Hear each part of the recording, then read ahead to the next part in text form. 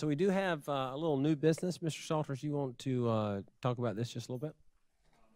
Yes, Dr. Little, I'll be, uh, be glad to talk about. It. We have a policy for you this evening. It's a little unique situation. Um, and uh, this is a policy uh, that the School Boards Association does not have any codification for yet, so I don't have a number for you. So TBD is not the policy number, it is to be determined. Um, as we work with uh, the School Boards Association uh, to get numbers for this policy, um, and I- left a, uh, a little, uh, handout at your, at your place in the, uh, at the boardroom there. Um, and this is a, a kind of a, uh, a cheat sheet, if you will, for SEC Rule fifteen C two twelve. Um, and this is a continuing disclosure, uh, rule that, um, has, has recently been enacted. Um, and really, in our summary and through the, in, in the policy, uh, going back to February of, of this year, the SEC um, uh, did an amendment to this rule, and it's really related to continuing disclosure um, around our, our financial obligations um, as they relate to our bond uh, sales and potential investors in the, in the school district. And so um, this is a policy for first reading tonight. Um, we, uh, in our bond sale, we had a- an investor um, and other potential investors ask if we had the policy um, in our, you know, in our system. Um, and so it- it's been recommended by our bond counsel that we add this policy to our um, existing policies that we have related to bonds and, and our investments uh, so that it, it would show our commitment to our investors uh, that we are um, interested in supporting uh, ongoing disclosure of our financial obligations. And this new ruling really references any additional uh, financial obligations that we may incur. Um, you know, things like a, a, a lease or uh, for a computer lease or something like that, we would we would need to disclose that um, if we were to enter into something like that potentially with with investors. And the um, there's a website uh, that's kind of a clearinghouse, the EMMA um, website that all of this information gets posted to. Um, I mentioned uh, Deborah taking over some of that those duties uh, from Dina, and that's uh, part of what she does is make sure all these disclosures are are kept current. current. But we also, you know, we have to release our CAFR every year to these folks, um, and so this uh, this rule and policy just really um, solidify our commitment to doing that work. So um, as you review it, I'll be happy to answer any questions that you have um, related to it, and we, we would ask for action next month um, at, the, at the board meeting.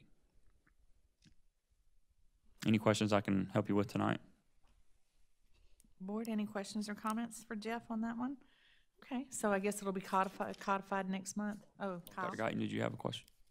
Well, I, I was just curious if this, does this put a additional burden on the departments or, or anything like that? Because I had seen, you know, in, in one of the, the examples on the policy, like the, uh, to deliver to the chief operations officer, a detailed list of all existing financial obligations of the issuer, la da da da da. So are these things that are already at hand, easily accessible, does not, you know, add a burdensome amount of, of work and such, or, or So, so what does this change for us? That, that's a great observation, and and so um, one of the things that it, it does is it, it really puts a focus on um, and, and and you know John Stevens is here, uh, our, contract person. Really puts a focus on things that we engage um, and, and create liabilities for at our school level. So if a, if a school were to happen to um, enter into some contract that would create some significant liability uh, for the district, it, it's their responsibility to report that uh, and us to track that, and then us to, um, you know, report that out on uh, onto the uh, EMMA site. Um, we have a really good process um, that our schools follow, and every contract is vetted and and then. Um, you know, ultimately signed by me, but um, so I don't know that that really would increase the burden. Um, one of the things really is, is, I mean, this is a compliance thing that we, you know, the business that we're in with all the, um, the bonds that we, we work with is something we, we pretty much have to do. Uh, the expectation is there, um, for our investors, uh, to, to comply with these, um, continuing disclosures. So, um, you know, it, it is a burden to keep up with the work. Um, and, and I appreciate, uh, you know, Deborah would, would say that it's a burden because there's, you know, you, you have to keep books and documentation and so forth. Um, but the expectation is that you do that anyway when you're dealing with these kinds of things. So, um, I don't think it's a really big, um, change, um, to what we already do. Um, it just formalizes it in policy. Um, and, and then the amendment to the rule just stipulates any additional financial, um, obligations that we incur, we have to, um, you know, we have to disclose. Yeah.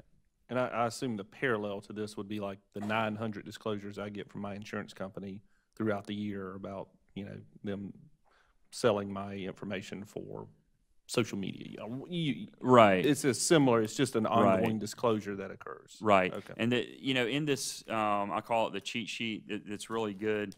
I think it's, uh, well, it's on the second page. Um, there, there's a list of, um, kind of actions that, that would warrant, uh, an additional disclosure. Um, so it's not like we're every day having to, hey, we signed this contract, hey, we did this, hey, we did that. Um, uh, you know, it's, it's, it's a pretty rare occurrence where you'd have to, you know, do an additional disclosure, but, but there is a good cheat sheet there about when, you know, when you might have to do that. So it's probably not as bad as your nine hundred insurance disclosures, but similar concept. Gotcha. Okay. Any other questions, board?